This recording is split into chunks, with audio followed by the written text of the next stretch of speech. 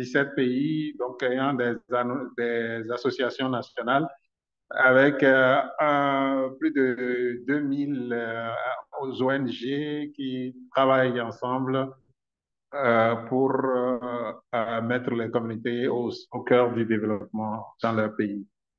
le but ultime donc de ce mouvement, c'est de porter à échelle le, le, développement piloté par les communautés, et donc faire de sorte que les pilotés soient donc, les, à l'avant-garde de leur développement. Donc pour cela, nous avons euh, la voice, la, nous, promouvons la voix, donc euh, particulièrement pour les femmes et les jeunes et les personnes marginalisées.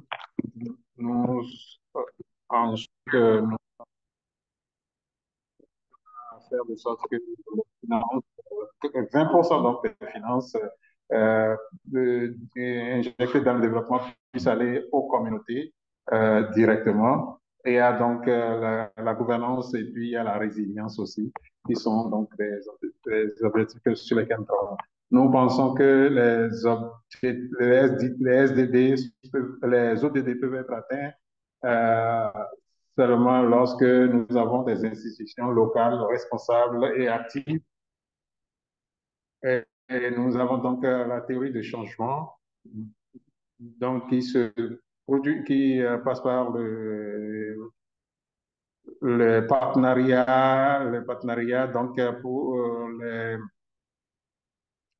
pour le plaidoyer, nous avons le partenariat donc pour la facilitation afin que les communautés puissent mettre en œuvre leurs propres objectifs. Et nous pensons qu'ensemble, nous pouvons réaliser les. Euh, les, les ODD, donc, ce, de, les, le mouvement, donc, euh, fait de la,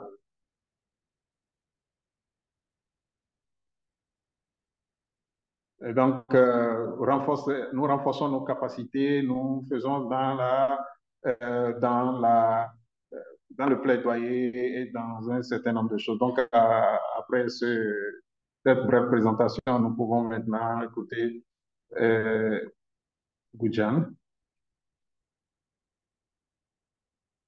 Merci beaucoup. Euh, nous sommes à une, à une étape où des choses se passent dans le monde, où les, les hommes, les femmes, les enfants, donc, euh, sont impliqués dans des, des conflits euh, qui, qui créent donc l'insécurité alimentaire qui crée donc la faim.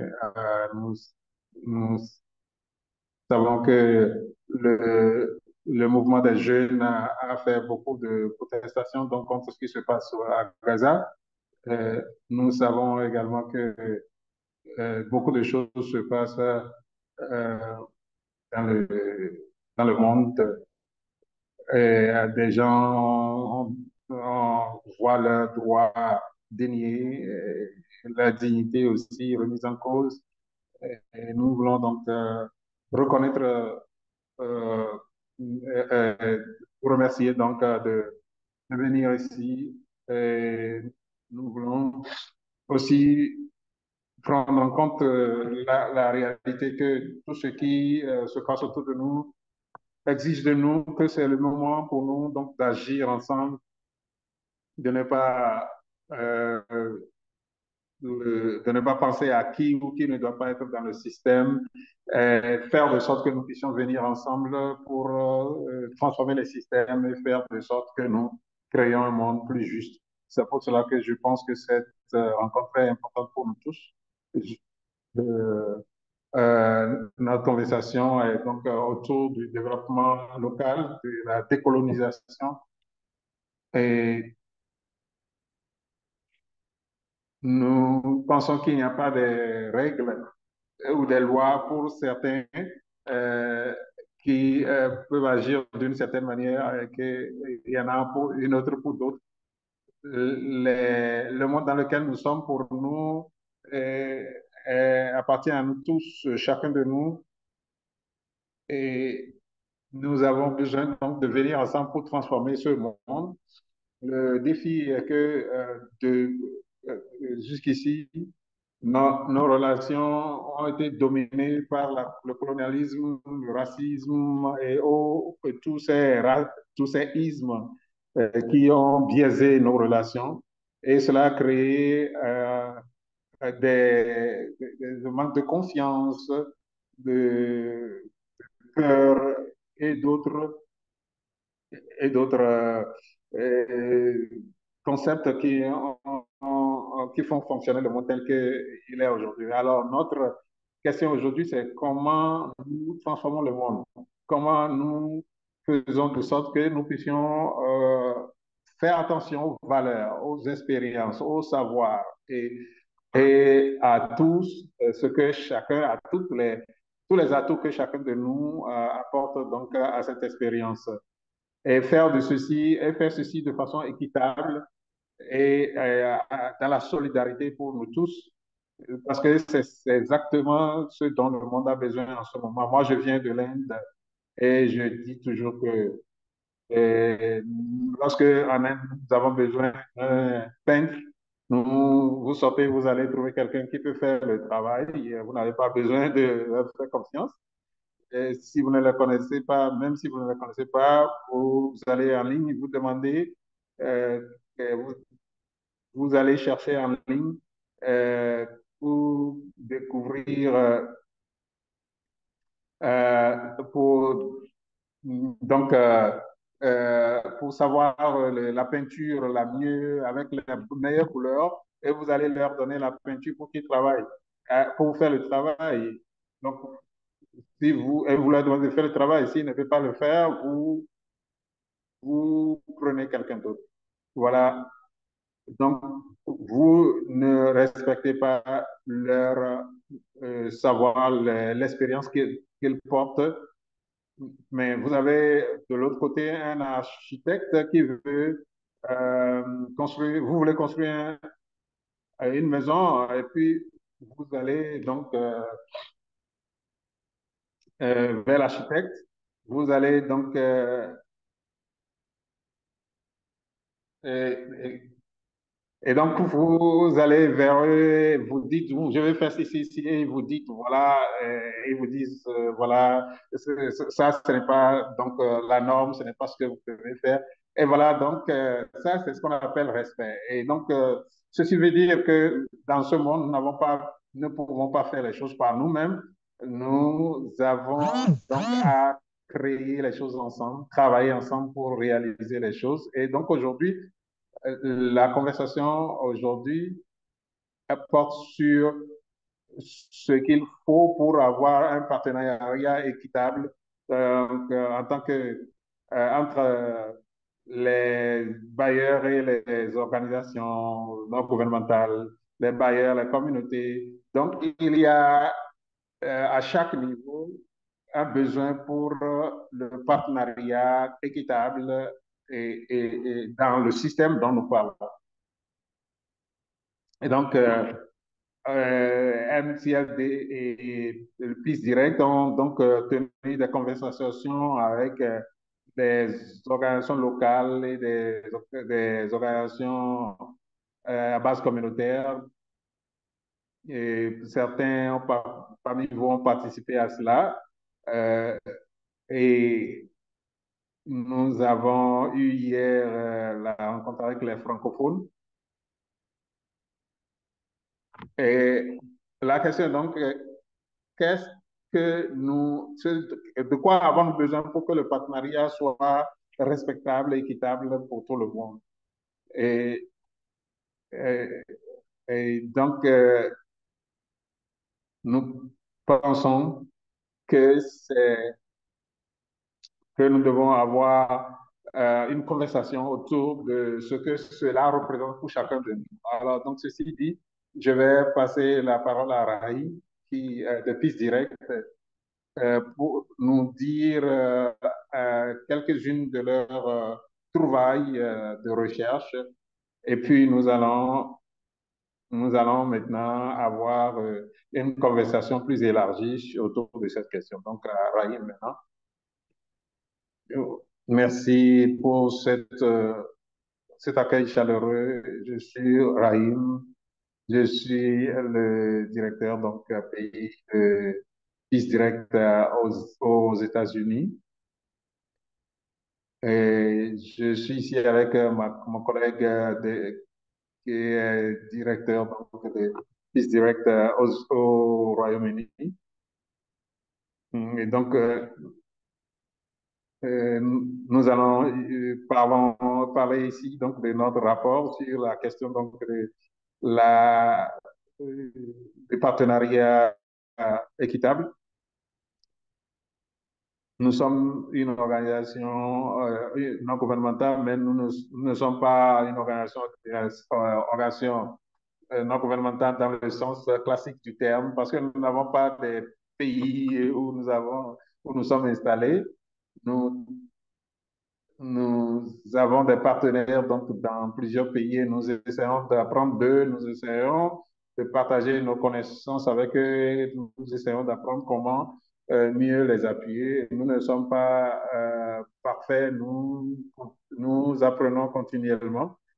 Et avec cela, nous faisons aussi euh, quelques plaidoyers de politique euh, ici à New York pour, euh, pour améliorer les pratiques euh, au plan mondial, donc afin que les bailleurs, les bailleurs bilatéraux et multilatéraux puissent mieux euh, donc euh, euh, interagir avec les partenaires et parce que donc voilà notre mission et, ceci dit donc je vais passer la parole Carole. Voilà qui va nous faire le point donc du rapport que nous voilà. Robert donc Robert euh, a travaillé à Peace Direct pour trois ans pour euh, dans l'élan de décoloniser les systèmes. Ça a été ma passion depuis que j'étais enfant et j'ai grandi avec cette passion. Et donc, euh, j'aime travailler sur ce, ce, ce, travail de décolonisation des systèmes et faire de sorte que nous puissions avoir des col collaborations transparentes. Et c'est de ça que je vais vous parler. Et, euh,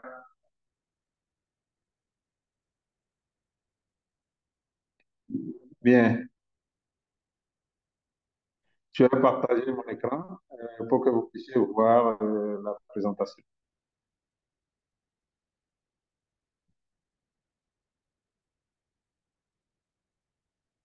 Alors, donc, euh, c'est les partenariats transformatifs, euh, transformatifs ou transformateurs euh, dans la coopération internationale. C'est dans le titre qui s'affiche. alors, donc, bienvenue à la présentation, à, la communication. Le rapport, le rapport donc, date de 2000, 2023 et c'est un guide pour les ONG euh, d'ailleurs pour avoir un partenariat décolonisé, un partenariat équitable. Voilà. Euh, alors, donc, euh, mon, prédécesseur a parlé un peu déjà de Peace Direct.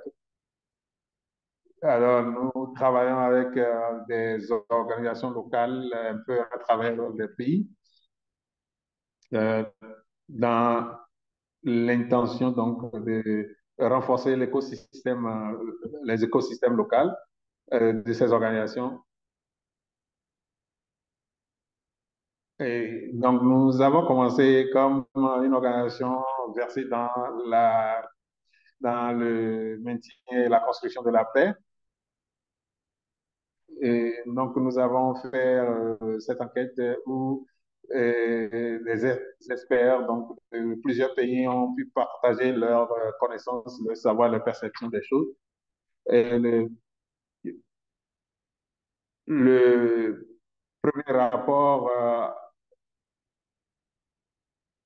a été publié en 2019 euh, et le, et le deuxième rapport euh, avait trait à, à, la, à, construction de la paix elle-même et a souligné un peu comment les systèmes et structures donc, de la colonisation peuvent être reproduits. Et, et donc, à, et donc, ce que nous avons euh, euh, trouvé donc, à travers ces recherches, c'est l'engagement à la décolonisation. Mais comment aller à, cette décolonisation n'est pas très clair pour tout le monde. Alors, donc, nous avons décidé de visiter les théories et les pratiques pour euh, découvrir les approches donc, et, développer donc un, guide d'approche de décolonisation de leur travail. Alors, nous avons essayé donc euh, de, d'interroger un certain nombre d'individus, d'organisations pour euh, euh, comprendre le fonctionnement, leurs approches, etc. Et nous, nous avons donc fait une série d'interviews, d'interactions, et voir.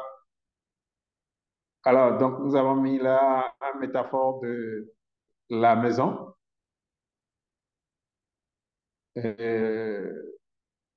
De, si vous regardez la fondation, donc c'est notre, notre, notre mentalité, la façon dont nous pensons.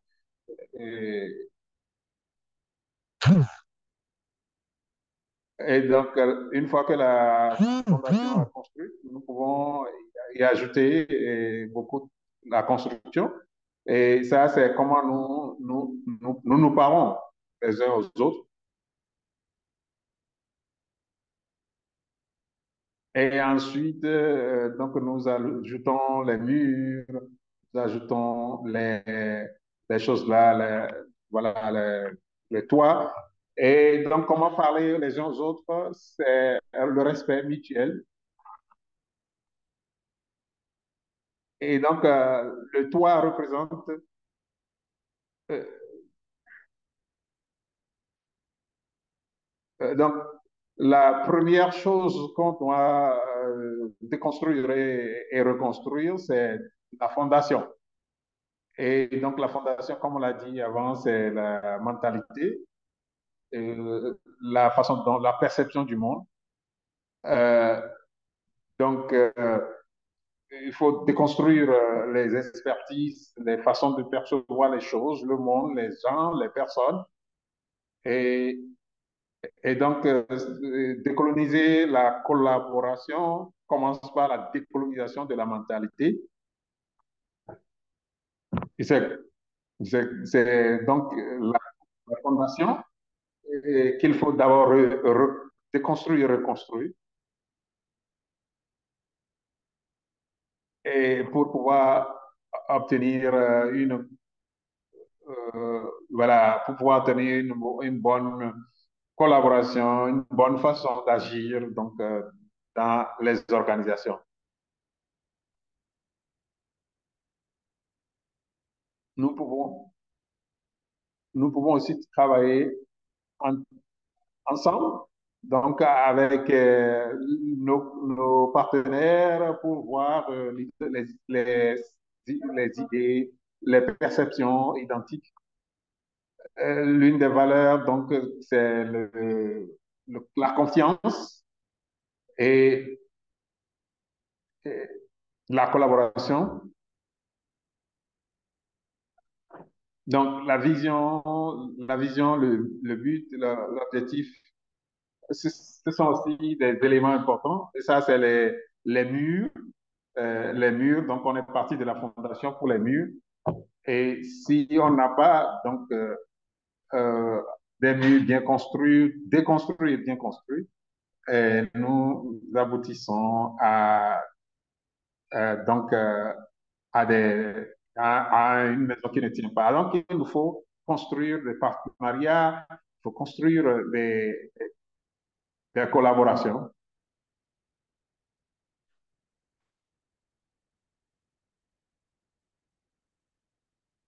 Donc, euh, la solution telle que présentée à l'écran, c'est il faut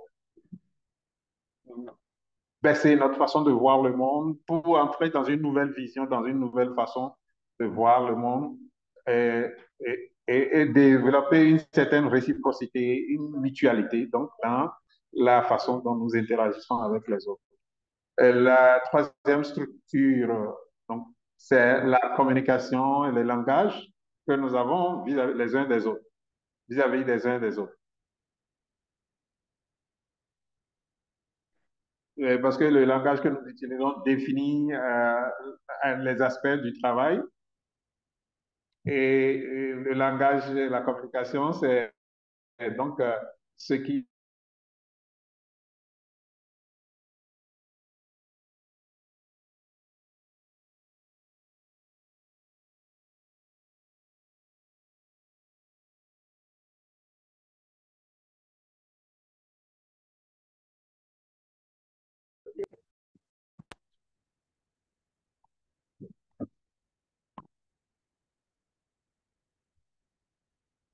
Et un élément important donc, de la communication, c'est l'écoute.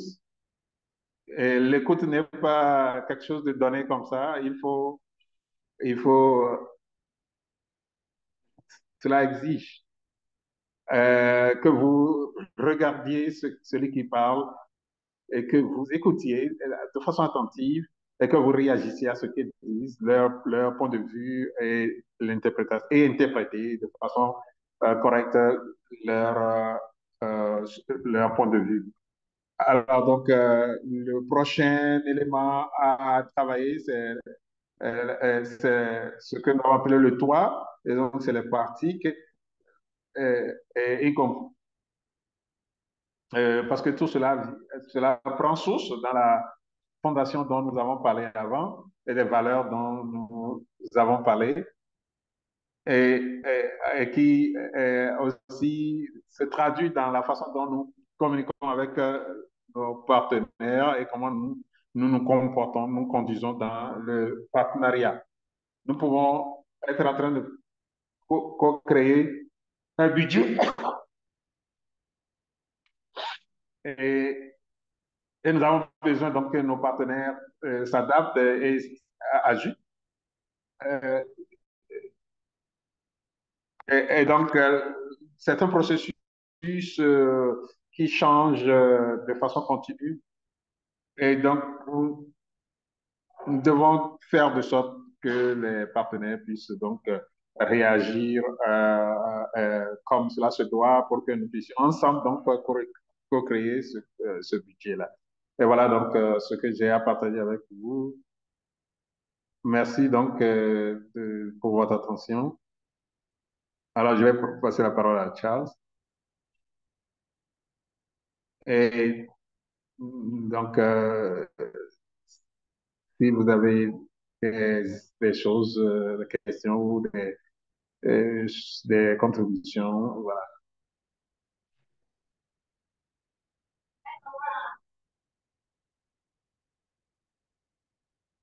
Alors, donc, comme je l'avais dit, Dr. Prince Charles est un, praticien du développement. Il est, il est basé au Nigeria. Et comme il a mentionné dans le chat,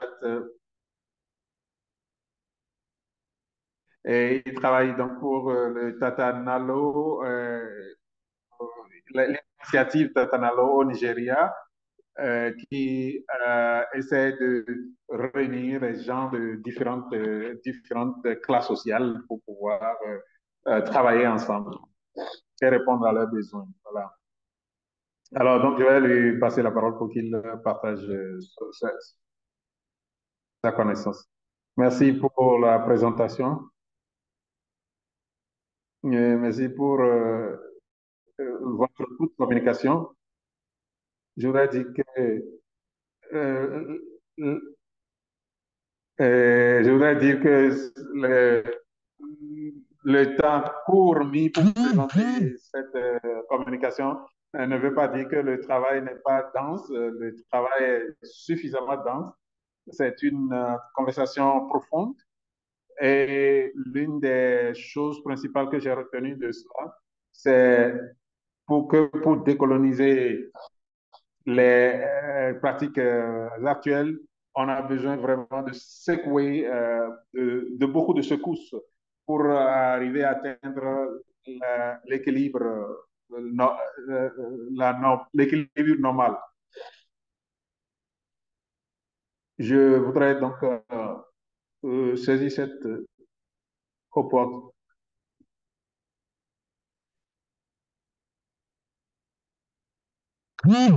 Alors, quand on regarde le rapport euh, de la transformation des partenariats, euh, les choses se passent en matière de décolonisation euh, dans les deux sens. Alors, donc, il est important que les acteurs locaux et, puissent avoir cette conscience qu'il faut décoloniser les pratiques et nous voulons euh, construire une compréhension mutuelle donc de comment euh, faire de sorte que euh, les, les, déséquilibres de pouvoir euh, structurels et perpétuels puissent être revus, les systémiques, les les inégalités euh, systémiques et culturelles et structurelles puissent être aussi euh, euh, transformées. Et donc, notre première préoccupation, c'est comment notre compréhension est que le Sud global a le pouvoir mais n'a pas utilisé ce pouvoir comme ça se doit. C'est comme si vous avez le pouvoir, euh, vous avez une maison et, vous, invitez le, le, peintre euh, à venir juste euh, peinturer la maison sans qu'il ne dise ce qu'il pense, que lui pense.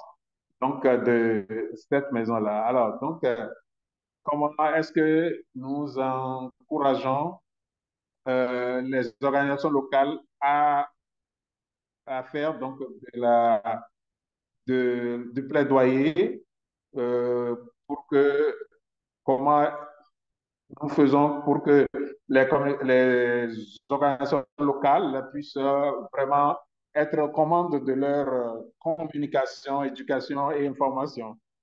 Comment euh, comment est-ce que les organisations s'impliquent donc dans les, euh, les questions donc de, de financement direct, direct? Est-ce que le financement doit passer par des intermédiaires ou, euh, euh ou, ou est-ce qu'on doit juste envoyer l'argent pour qu'il soit utilisé sans, être, sans qu'on en rende compte? Euh, comment utilisons-nous l'expertise locale et autres Voilà donc des questions euh, que nous devons considérer si nous voulons véritablement euh, transformer le, partenariat, tel qu'il est en ce moment. Donc, au-delà d'avoir de, parler de la décolonisation, est-ce que nous, sommes prêts à poser des questions comme lorsque nous disons euh, que chacun des partis a une part égale dans la prise de décision. Est-ce que, est-ce que les organisations locales veulent euh, qui déterminent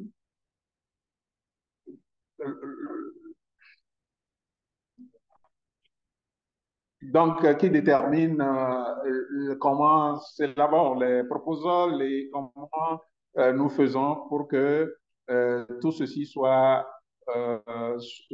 donc comment faisons-nous pour que, au-delà des structures existantes, de tout ce qui est en place, que les voix locales puissent être entendues, et comment changer la dynamique euh, en cours, comme nous parlons de, euh, de, de, de, faire de sorte que le, le, le, pouvoir puisse aller vers les communautés euh, à la base.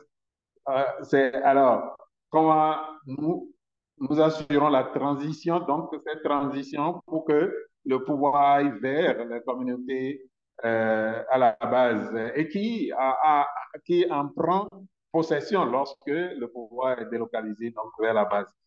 Euh, comment les, ONG, euh, les communautés, les, organisations à base communautaire, euh, toutes les organisations, les petites organisations dans les communautés, quelle est leur place dans le processus?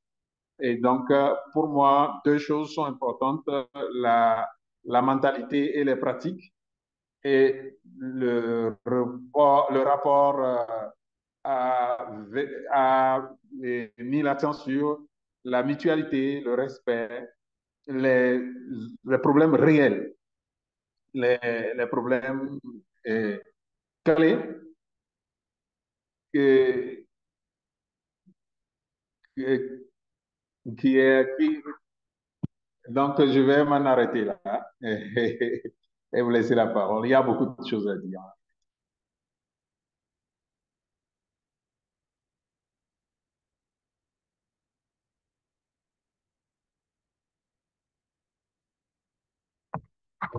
Merci beaucoup. Euh,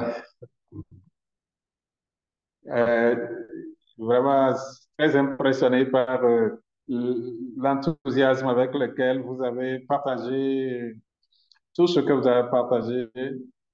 Et, donc, euh, nous a, avant d'ouvrir la discussion, nous allons donner la parole à notre collègue Doris pour euh, qu'elle nous parle du partenariat. Elle elle est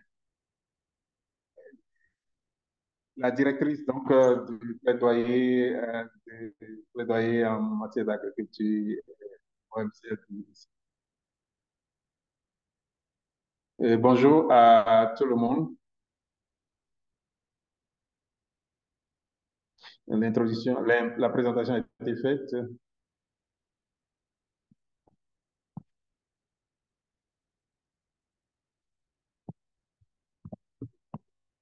Donc, euh, nous partageons nos vues sur euh, les ONG, les ONG internationales et, et sur la façon dont nous travaillons ensemble.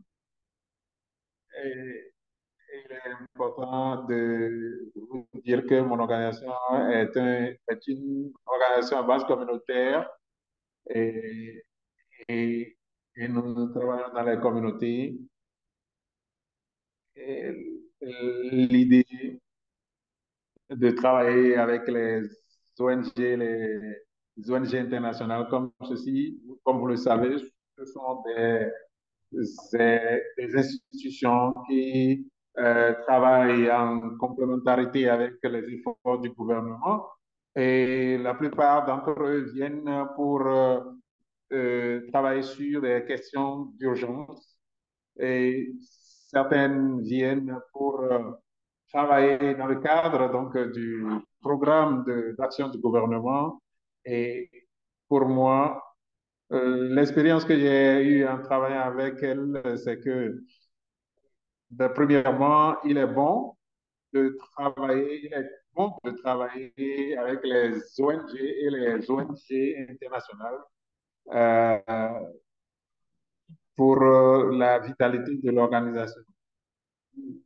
Mais euh, pour la plupart, il faut vous aider à construire la capacité institutionnelle de l'organisation. Ils, ils, ont leurs méthodes. Euh, donc, ils ont les méthodes pour euh, établir des partenariats.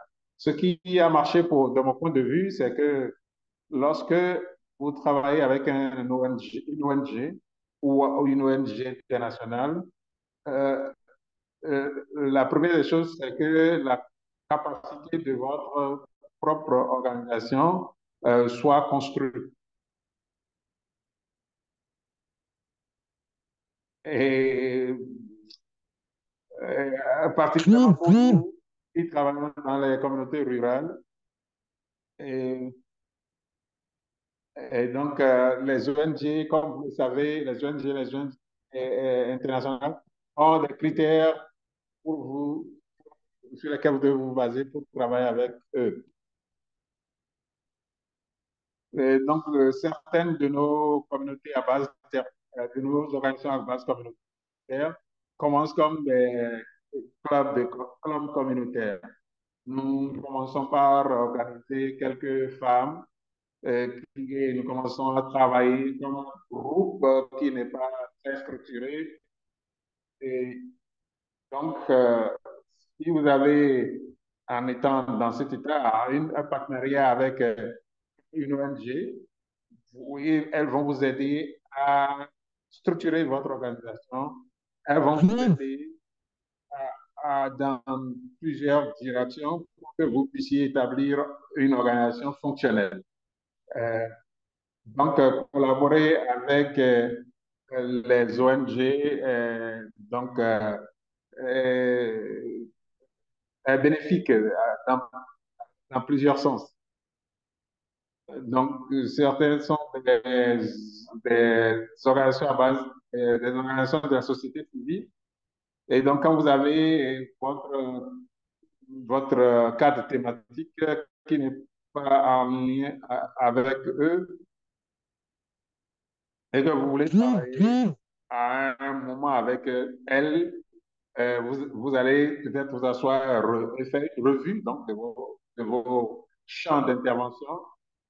Et cela a aidé donc, euh, euh, des organisations comme la mienne et travailler avec les ONG, les ONG internationales, vraiment a aidé notre organisation. Et, et, certaines, cette interaction avec, avec elle nous a permis donc de construire euh, des réseaux et d'établir des partenariats avec beaucoup d'autres organisations. Et je peux dire que, puisque mon organisation est une organisation en base communautaire, euh, cela m'a aidé donc à, à construire des partenariats avec des organisations internationales euh, et beaucoup d'autres organisations internationales. Et ça vous permet aussi d'être sous le feu de la rampe pour qu'on puisse vous connaître. Parce que euh, euh, nous avons par exemple le MCLD, euh, le MCLD chapitre Sierra Leone, Hmm, parce que nous sommes euh, une structure nationale, nous avons pu donc avoir le lien avec euh, le MCLD mondial et maintenant nous agissons cette euh, relation à piste directe et d'autres organisations à venir. Et donc, certaines des choses quand même qui ne fonctionnent pas dans ce partenariat, c'est qu'ils ont des protocoles, ils ont des quatre critères euh, pour avoir accès à leur, à leur euh, financement. Et, et, si votre organisation n'est pas bien structurée, structurée elles vont travailler avec euh, d'autres organisations mieux structurées pour un peu superviser le travail que vous, vous faites à, la base. Euh, par exemple, ils vont vous demander des rapports d'audit le, les structures de gouvernance. Donc, euh, les organisations petites euh, sont un peu difficiles pour les ONG internationales pour faire, enfin, les organisations, les, petites organisations ont de la difficulté, pardon, à faire les audits et d'autres choses comme ça. Donc, ce que je peux dire, euh, en tant qu'organisation qui travaille pour le plaidoyer pour les. Il s'agit donc de,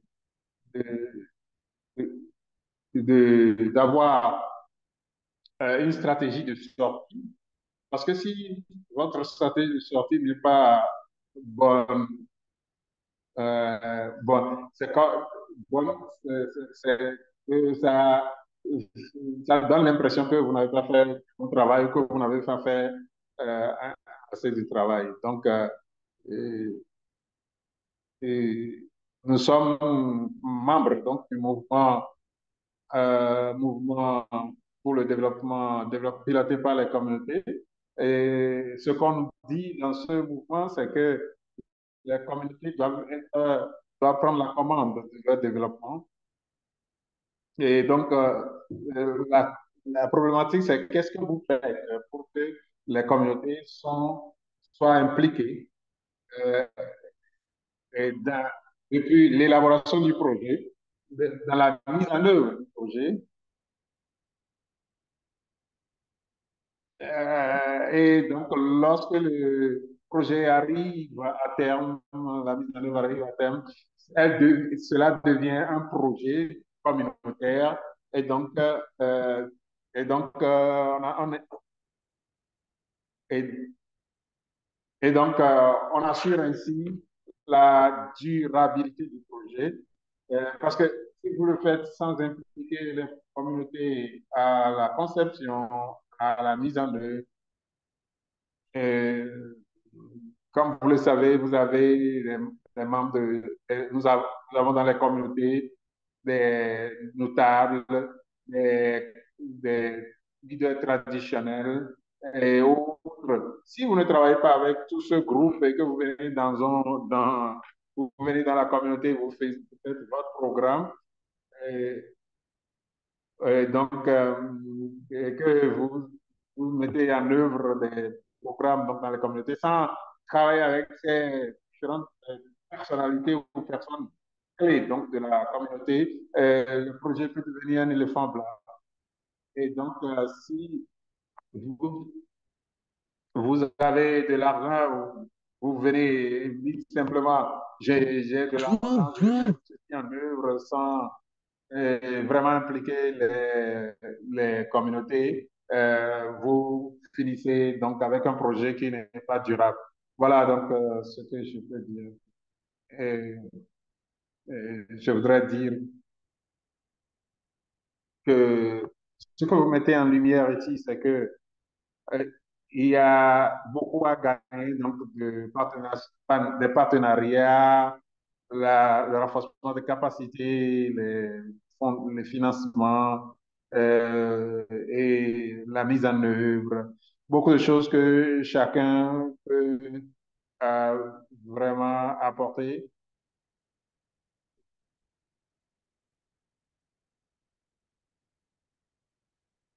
et faire de sorte que les petites organisations donc, euh, puissent euh, aller de la, aller de l'avant. Donc,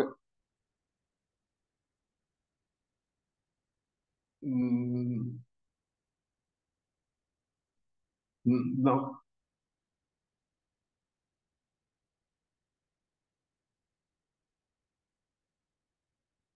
Alors donc, euh, ce qu'on a demandé, c'est qu'est-ce que nous faisons et qu'est-ce que nous faisons pour que euh, euh, ce ne soit pas juste que nous allions mettre en œuvre donc, des programmes dans les communautés, mais qu'il y ait vraiment une relation de réciprocité, de mutualité, de respect entre les partenaires qui donc, sont impliqués. Et vraiment, donc, merci pour Doris. comme nous l'avons dit, nous voulons maintenant ouvrir le débat à tout le monde. Euh, des questions donc, euh, ont été posées. Euh,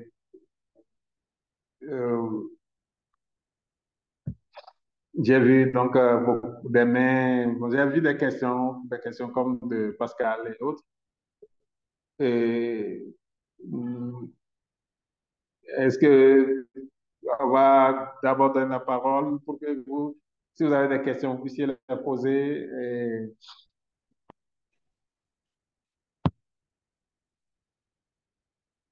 Alors, donc, nous avons, donc, avant d'aller, d'ouvrir la parole, euh, faire rapidement euh, une enquête opinion. Ce que vous voyez à l'écran là va venir donc euh, sur votre écran et vous pouvez donc euh, répondre très rapidement. La première question est est-ce que vous avez fait partie d'un partenariat qui a, euh, qui a, qui vous a laissé l'impression d'être équitable et collaboratif? Donc, avez-vous fait partie donc d'un partenariat qui vous a semblé euh, équitable et collaboratif? Donc, oui ou non, vous pouvez répondre.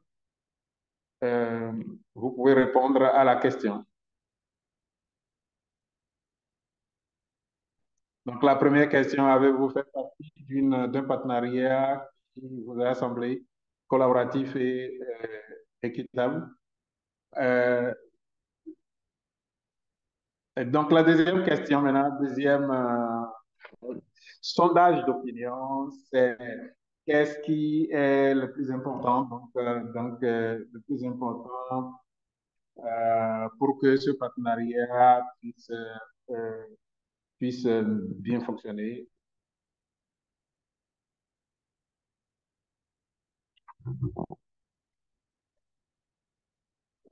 Et donc, qu'est-ce qui,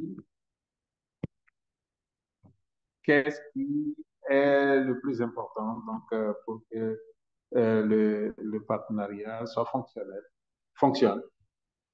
Euh, donc, différentes choses que vous pouvez mentionner. Euh, donc, en attendant que vous répondiez très rapidement.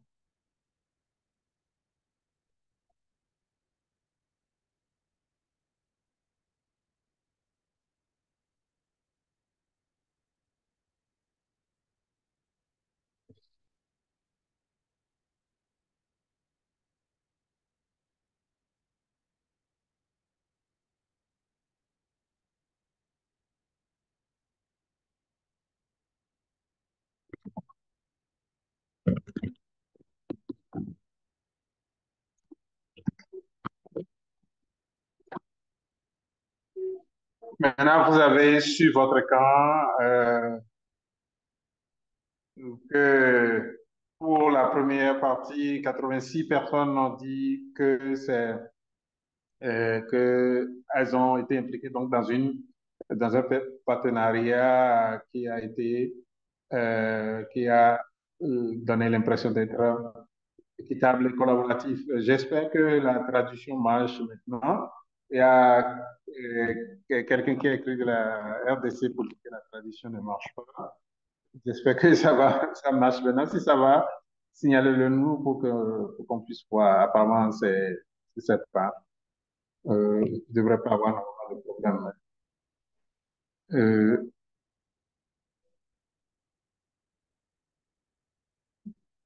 Est-ce que la traduction marche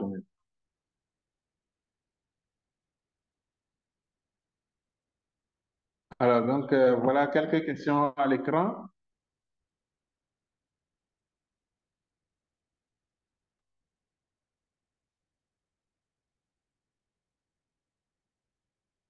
Voilà quelques questions à l'écran qui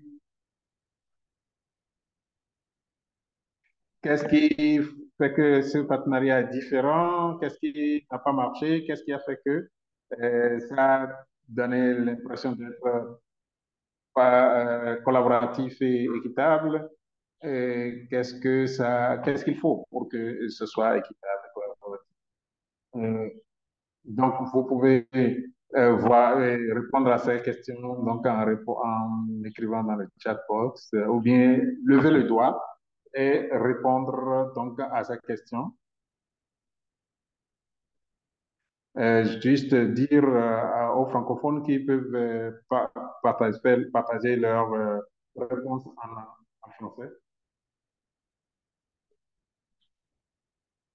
Euh, est-ce que Pascal veut commencer en parlant donc de la question euh, qu'il a mis dans le chat? Il y a Pistirette aussi dans cette... euh,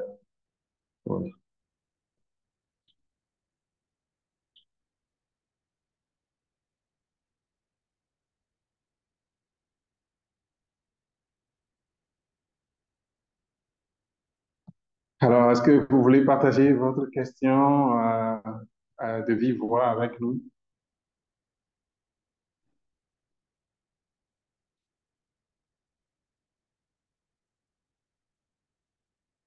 Alors, donc, euh, on va aller à Maya et puis on va revenir à Pascal le temps qu'il le chat Euh, merci à l'équipe de T-Direct. J'ai vraiment apprécié l'analogie faite à la maison. L'une des choses dont je pense beaucoup, auxquelles euh, je pense beaucoup, nous parlons beaucoup donc euh, comme Prince Charles a dit, la, la mentalité. Et l'une des choses nous ne parlons pas souvent parce que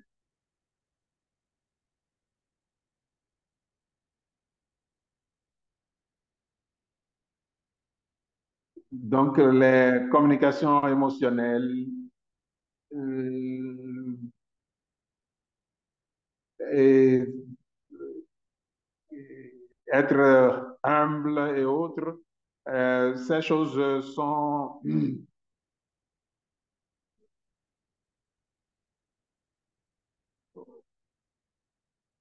donc euh, comment faire de sorte que nous puissions euh, euh, euh, intégrer ces choses donc à, à et, ce sont des choses que nous, nous avons tendance à négliger puisque nous voulons aller vite, nous ne regardons pas euh, de, de près. Et donc, je voudrais voir comment, savoir comment nous faisons pour que ce, euh, ces choses, ces choses puissent, euh, euh, donc la communication émotionnelle puisse être intégrée dans, euh, dans l'ensemble des choses que nous disons.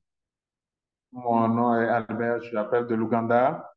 Je voudrais faire un commentaire euh, sur Doris. Euh, je conduisais quand j'ai écouté la première personne. Pour le partenariat, je pense qu'il y a beaucoup à faire en termes de construire la, confiance. Et la confiance s'appuie sur, la, sur euh, le compte rendu. Et donc, le, partenariat ne tient pas. Et si nous ne tenons pas compte de ces choses,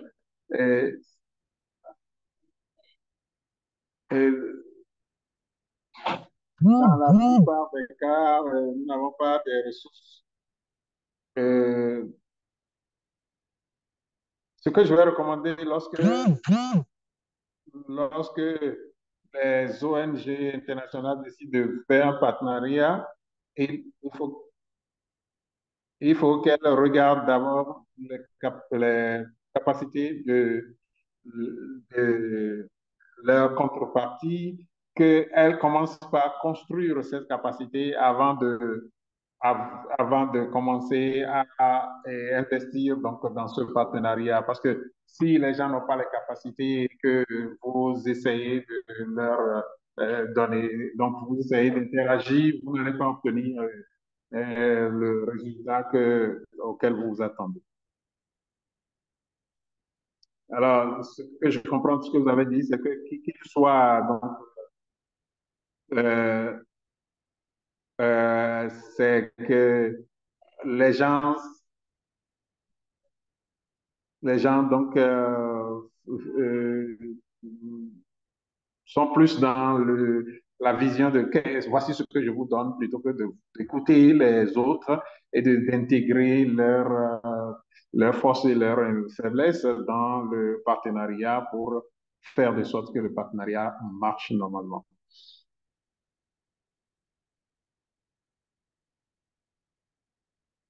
Merci. Merci pour l'équipe de Piste Direct aussi de nous avoir fait cette bonne communication sur le partenariat. Ah. Donc, euh, l'une des choses dont je veux parler, c'est euh, la mentalité.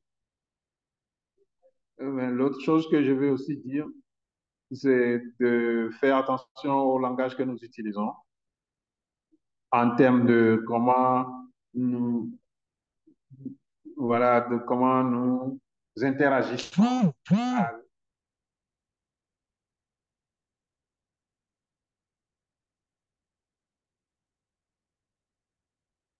Et donc, euh, donc euh, certaines des organisations parlent aux organisations à base communauté comme s'ils n'ont aucune, aucune capacité. Et donc, euh, les éléments de langage, ça importe beaucoup. Et,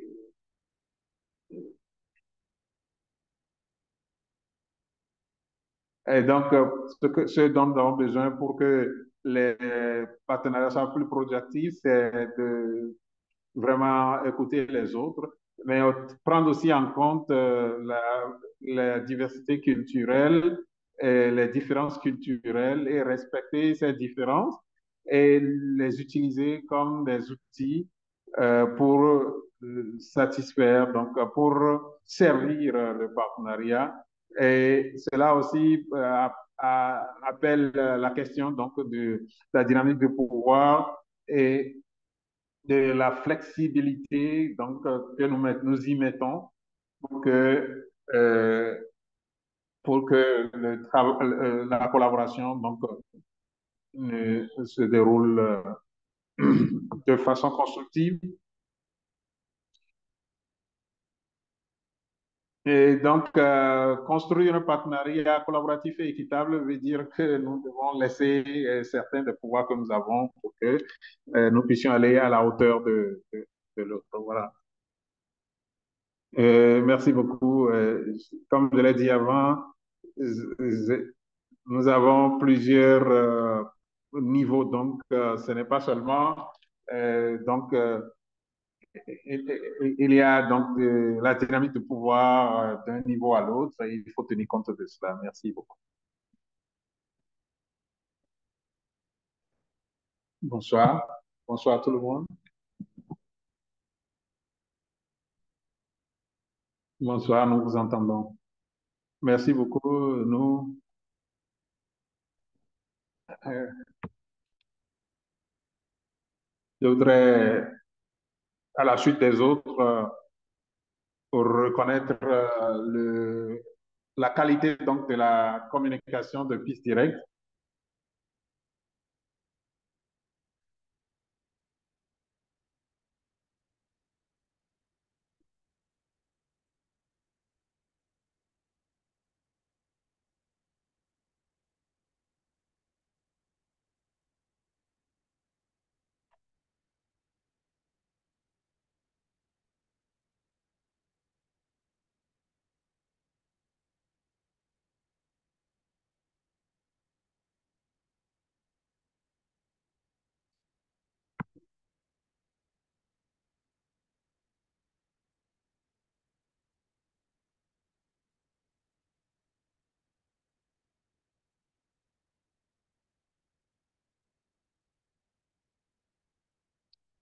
Alors, il s'agit ici euh, donc euh, de parler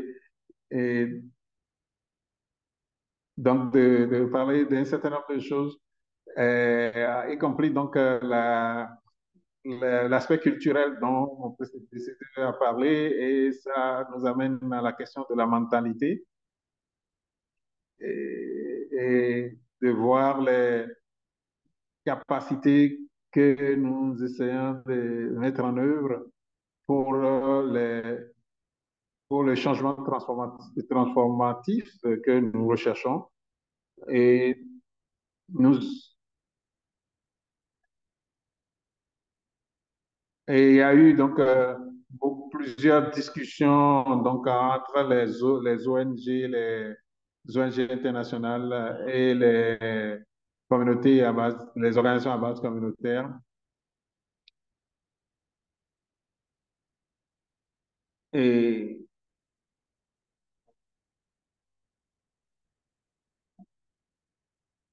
Et comme je le dis, ce n'est pas un travail facile, c'est un processus, un long processus, euh, un long processus euh, de transformation. Et nous devons donc regarder le côté positif de la chose et faire de sorte que, euh, que parfois ce n'est pas une question d'argent, mais on a besoin parfois donc de la motivation de,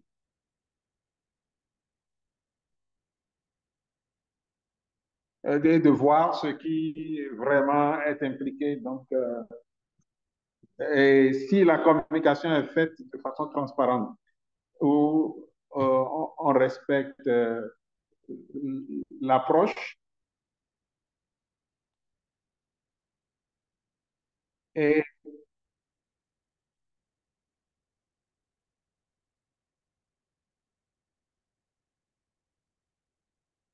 Euh, quel, que soit ce que nous voulons euh, ou ce que nous disons, euh, les groupes dont nous parlons, quand on dit qu'ils n'ont pas, pas de capacité, qu'ils manquent de capacité, ils ont une idée de ce que ça veut dire de faire, de faire, d'entrer dans une, dans un partenariat. Et ce que nous devons regarder, voir, c'est que quand nous élaborons nos programmes ou nos projets, nous devons prendre en considération trois choses. C'est que après, après l'élaboration donc de, de, de projets ou de programmes, euh, il, cela requiert donc euh, l'approbation de la communauté. Et nous devons mettre un accent sur euh, la stratégie de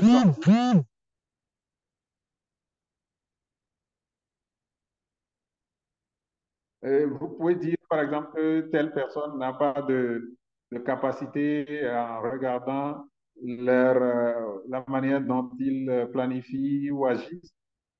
Et Et,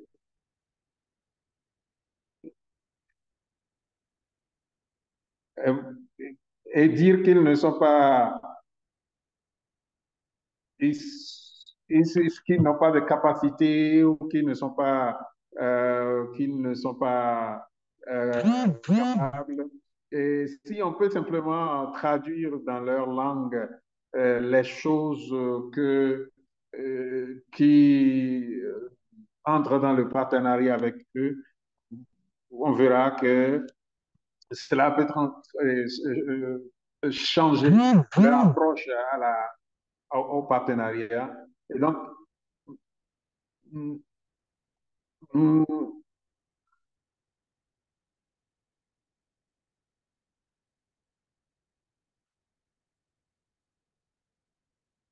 donc, nous devons prendre en compte euh, le, la balance du pouvoir et prendre en, compte aussi euh, les, ressources locales et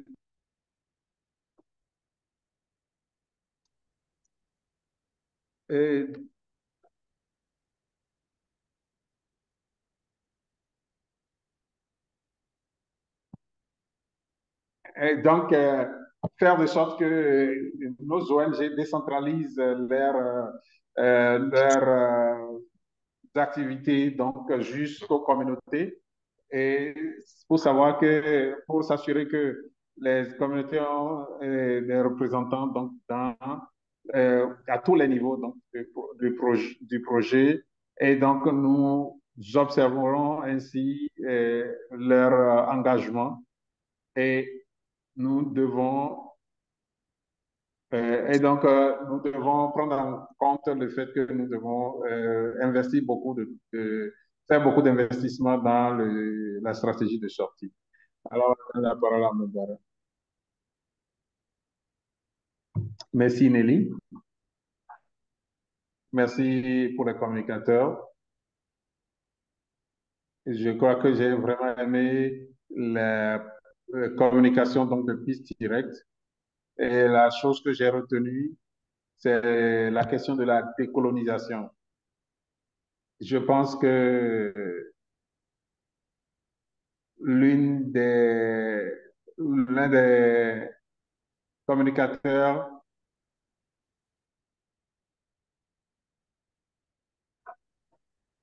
de l'écoute. La première fois que j'ai entendu le mot euh, écoute, c'est quand j'étais impliqué dans un projet et euh, où on m'a dit quand, vous allez, quand nous allons dans cette communauté, qu'est-ce que nous voulons vraiment faire? Est-ce que nous y allons avec les prescriptions venant de notre organisation ou bien euh, que nous devons euh, retenir leur contribution à ce que nous voulons faire. Aujourd'hui, nous parlons de la co-création. Et, et pour moi, on doit mettre le, le mot proactif, le terme proactif, avant le terme euh, écoute.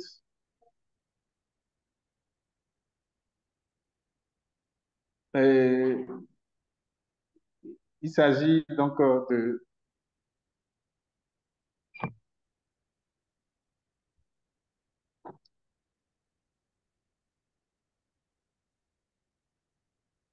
Alors, donc, je pense que nous devons euh, arriver à un point où nous demandons quand nous écoutons, est-ce que nous nous écoutons?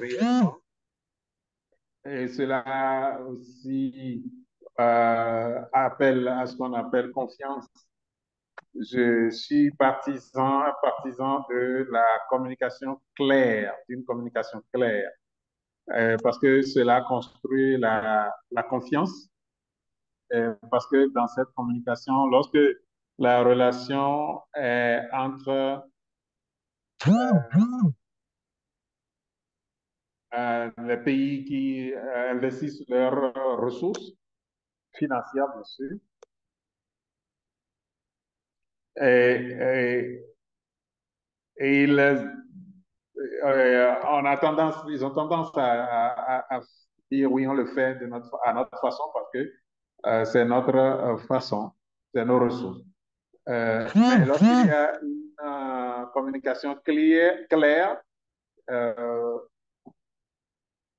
c'est que ce qui arrive souvent, c'est qu'il y a des, des malcompréhensions. Euh,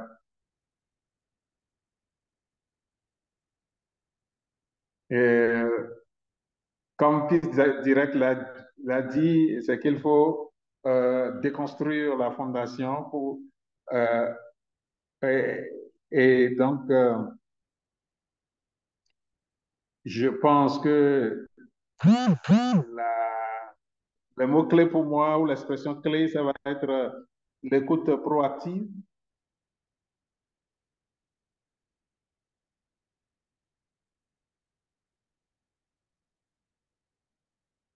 Donc, euh, je vais m'en arrêter là pour donner la parole à d'autres. Euh, je voudrais quand même demander si Piste Direct peut partager avec, la, avec nous la, la communication pour que nous puissions, nous puissions le, regarder avec un peu plus de détails. Euh, Je crois, oui, que Piste Direct va partager les, les slides après. Donc, je euh, très rapidement dire que la première personne a parlé de procédure euh, de communication. Je voudrais juste dire que la plupart d'entre nous, y compris Sarah, Pascal, Jorosu, euh, ont travaillé ensemble. Euh, pour mettre un, ensemble un projet sur euh, avec euh, collectif leadership pour euh, mettre en place un projet donc sur de décolonisation donc mettre en œuvre ce projet au Bénin. Et ce, que il faut retenir, c'est que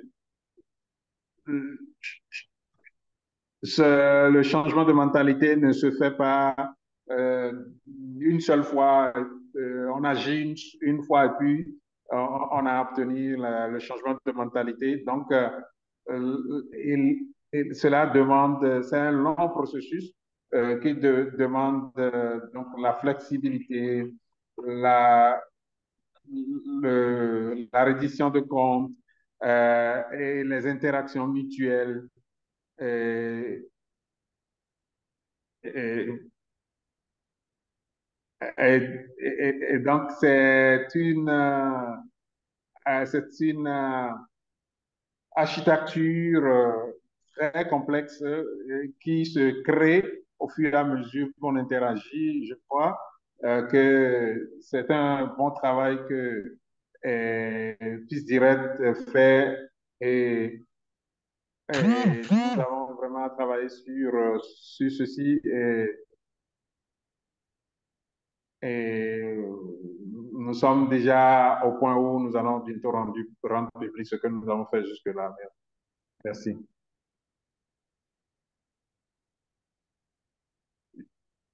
Je voudrais aussi signaler que le rapport a été mis dans le chat et, et je vais aussi mettre mon email dans le chat euh, au cas où quelqu'un voudrait en savoir plus. Voilà, Béranger. Okay, Béranger merci. la parole. Merci, bonjour à tous. Euh, J'ai suivi très attentivement la présentation et tout ce qui s'est dit. Euh, je voudrais euh, intervenir dans, sur le point qui concerne le partenariat. Euh, le partenariat en temps normal, selon moi, est un travail qui se fait entre deux ou plusieurs structures qui s'entendent euh, sur un objectif commun ou qui s'entendent pour réaliser un projet commun. Mais ce que nous constatons sur le terrain, c'est quoi? C'est que nous, les organisations locales, surtout ceux de l'Afrique, les partenaires qui viennent avec des ressources financières et autres, euh, nous ne constatons pas cet accord, ce travail d'ensemble, mais on nous amène à nous accorder à tout ce qui, euh, à tout ce qui, ce que les partenaires financiers veulent. Je parle par exemple des documents, des documents d'organisation, des documents de fonctionnement des organisations. Localement, nous avons des documents locaux que nous utilisons. Mais parfois, quand nous avons des bailleurs de fonds, on nous amène à rédiger d'autres documents pour nous accorder sur ce que ces bailleurs de fonds, eux, constatent ou bien veulent que ça soit. Mais est-ce que nous devons toujours nous accorder sur les violons de ces bailleurs de fonds ou bien ces bailleurs de fonds aussi peuvent s'accorder à ce que nous, en tant qu'organisation locale dans les pays d'Afrique, nous avons l'habitude de faire ou ce que nous avons euh, nos gouvernements ont l'habitude de nous donner sur lesquels nous nous accordons. Hier, par exemple, nous avons parlé avec l'USAID. Comment l'USAID doit travailler avec les organisations locales. Je donne un simple exemple. Pour que nous ayons aujourd'hui euh, le numéro SAB qui va nous donner l'accès à nous inscrire sur la plateforme de l'USAID, les documents que nous devons envoyer sur la plateforme SAB doivent être traduits en anglais. Mais les pays d'Afrique francophone, tous nos documents sont en français. Donc, nous sommes déjà, c'est comme euh, une discrimination, une mise à part de, certaines parties, de certaines organisations qui, en temps normal, ont plus de connaissances, je dis bien, ont plus de connaissances que ce que les papiers disent. Les papiers ne veulent pas dire ce que nous connaissons. Nous connaissons plus que ce que les papiers disent. Nous vivons avec les communautés. Nous comprenons beaucoup de choses que les communautés vivent. Mais quand on met à l'avant, on met devant nous, fournissez tel document. Tel document doit être forcément dans telle langue. Et tout ça là, c'est des barrières qui ne profitent ni aux bailleurs de fonds, ni aux organisations locales que nous sommes. En matière de partenariat, c'est vrai, nous avons les bailleurs de fonds, nous sommes organisation locale. C'est un adage, c'est comme un adage chez nous, en Afrique, au Bénin, qui dit c'est celui qui a la farine de maïs qui est le propriétaire de la pâte. C'est ce qui se passe. Donc, parce que nous n'avons pas les ressources, il faut que nous nous alignions forcément sur les conditions de ces bailleurs de fonds et ce qui n'arrange pas. Ce qui met à l'écart beaucoup d'organisations qui connaissent beaucoup de choses, qui savent beaucoup de choses, mais qui n'arrivent pas à avoir accès à ces financements. Merci.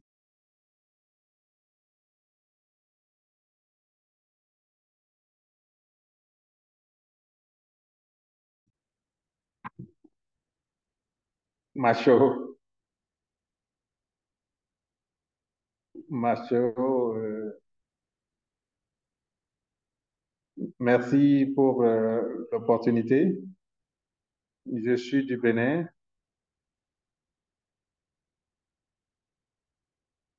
Et comme l'a dit celui qui m'a précédé, OK. Euh, nous observons que quand les partenaires viennent, ils, euh,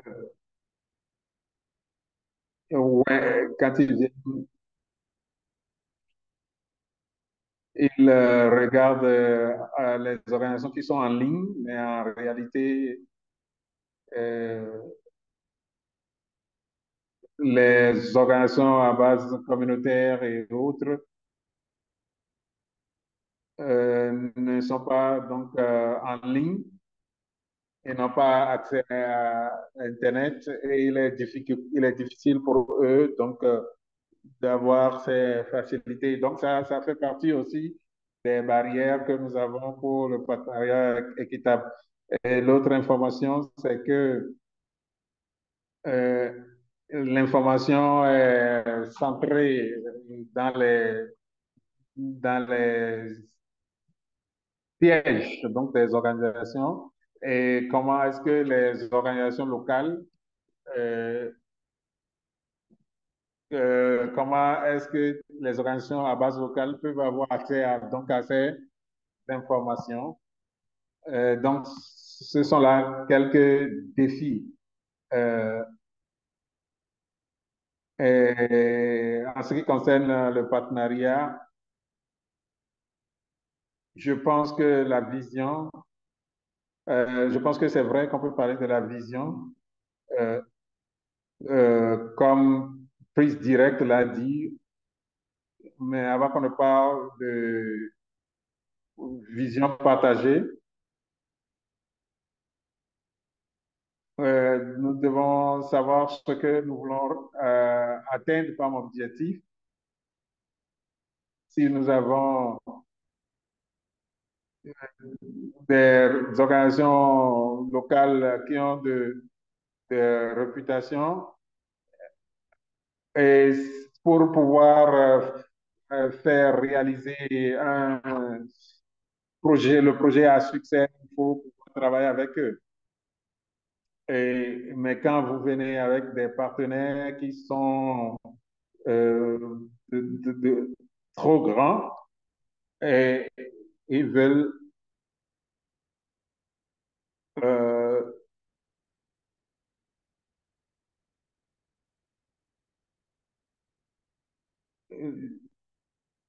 euh, donc, euh, ce, qui, ce qui se passe, c'est qu'ils sont, ils deviennent comme des intermédiaires et ils veulent satisfaire des, inter, les ONG internationales et ne, et ils ne comprennent rien donc des, des réalités donc des organisations à base communautaire et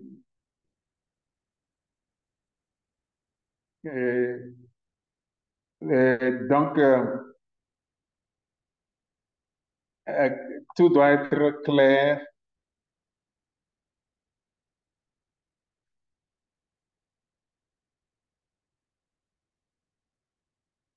La réputation, le résultat et les, et les ressources, donc, sont les trois choses auxquelles il faut euh, prêter attention. Et pour construire euh, la confiance et, et faire une communication euh, claire et avoir une, une reddition de compte. Euh,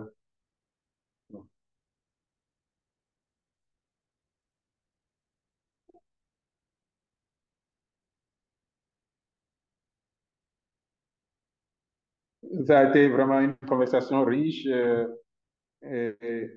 on n'a pas pu atteindre la deuxième partie de notre discussion où nous voulons euh, donc parler de, si vous voulez établir un cadre pour le partenariat, euh, donc où toutes les deux parties viennent pour dire voici ce, que, ce dont j'ai besoin pour que nous puissions collaborer de façon équitable et collaborative. Euh, et donc, euh, pour que nous puissions, euh, je voudrais vous remercier tous, Doris, Charles et tous les autres qui nous ont parlé. Je voudrais parler, je voulais remercier Paul, euh, qui a été sur euh, la traduction. Euh, merci beaucoup à Paul. Merci à, également à, tout, à vous tous et à des gens qui doivent euh, partir. Mais comme nous l'avons dit, il y a beaucoup de choses qui se passent et nous avons voulu donc euh, vous, vous partager ces choses-là avec vous pour que les gens sachent ce qui se passe très rapidement. Et donc, euh, le MCLD travaille avec euh, les mouvements activistes euh, pour donc développer un référentiel. Et comme Goudon l'a dit, Goudjen l'a dit, nous sommes aussi en train de faire donc de la, la du plaidoyer pour que les, local, les leaders locaux puissent euh, donc avoir leur, leur dit dans la politique élaborée par les organisations comme l'USAID et, et nous avons donc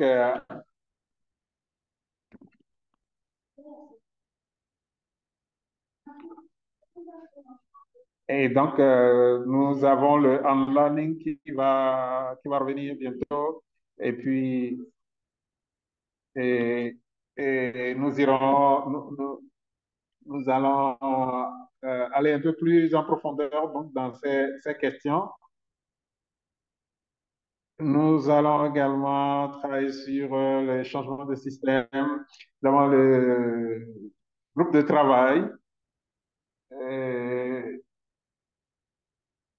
Qui travaille sur euh, le plaidoyer, la campagne de plaidoyer. Nous avons aussi les, exigences de financement que l'USAID met en place. Et,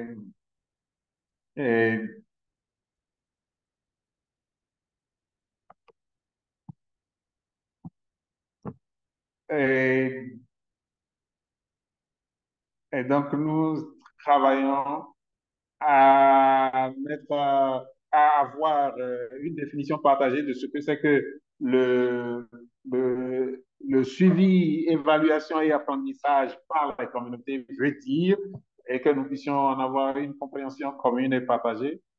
Nous, nous allons aussi faire beaucoup plus d'interactions donc à travers le, le mouvement. Euh, dans, pendant les vacances, il y aura une formation donc euh, en Afrique de l'Ouest. Il y a vraiment beaucoup de choses qui se passent donc euh, en Afrique et au niveau régional. Euh, donc au niveau des ONG, des ONG internationales, des organisations à base communautaire et autres. Et là, il y aura donc une réunion mondiale donc de toutes les associations nationales le 24 juillet, en tout cas en juillet, je ne sais pas si la date est juste. Et, donc, euh, lorsque nous allons euh, nous revoir pour l'appel mondial, euh, l'appel mensuel, donc nous ferons donc une certaine revue donc de ce que nous aurons dit donc dans l'Assemblée mondiale. Voilà. Et donc voilà euh, les dates euh, pour les événements à venir pour, vous qui êtes euh, intéressés. Et ceci dit, donc merci vraiment d'avoir pris part à cette rencontre et, et partager vos idées, vos, vos, vos points de vue ensemble avec Peace Direct. Je dis vraiment merci à tout le monde et comme nous le faisons d'habitude, ouvrez vos caméras et vos micros et dites au revoir pour que nous puissions à cette